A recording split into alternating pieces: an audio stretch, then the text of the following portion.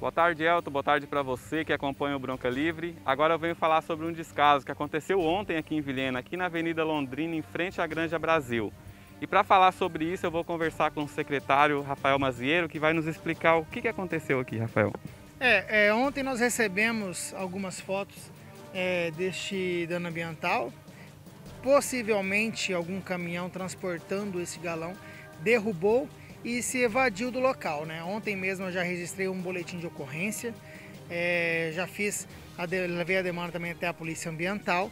Ah, hoje cedo, no primeiro horário, a equipe de fiscalização da nossa secretaria já veio no local fazer um, um relatório, mas agora é tentar buscar é, o autor desse dano para depois imputar a responsabilização. É, vamos ter que tentar olhar as câmeras de segurança, de vigilância de algumas empresas próximas, que com certeza, é, se é um caminhão, deve ter passado, deve nas regiões aqui e deve com certeza ter alguma filmagem. É, já está com a Polícia Civil e assim que se desenrolar e nós localizarmos a pessoa que causou esse dano aqui, nós vamos usar é, o que estiver ao nosso alcance para tentar imputar ela a responsabilização desse dano ambiental.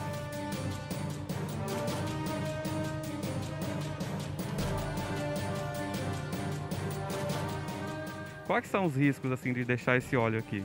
É, esse, esse óleo aqui, pra, a retirada dele tem que ser para uma, uma, empresa especializada. E o, rano, o, dano dele é contaminação do solo, até mesmo do nosso lençol freático. Então, é, tem que ser retirado. E qualquer tipo de óleo, qualquer tipo de, de, de produto químico, ele causa um, um sério dano, não só ao solo, como também o lençol freático e a vegetação próxima. Então, é, tem que fazer retirada, mas aí tem que ser por uma equipe especializada, né? não é fácil retirar essa, essa mancha. E a Polícia Civil, ela orienta que não se mexa até que eles façam as investigações. É o que já foi feito o boletim de ocorrência ontem, agora temos que aguardar a investigação. Então essas foram as informações e as explicações aqui do secretário do Meio Ambiente, com imagens de Anderson Ferreira, Joel Jonas, para a TV Alamanda Vilhena.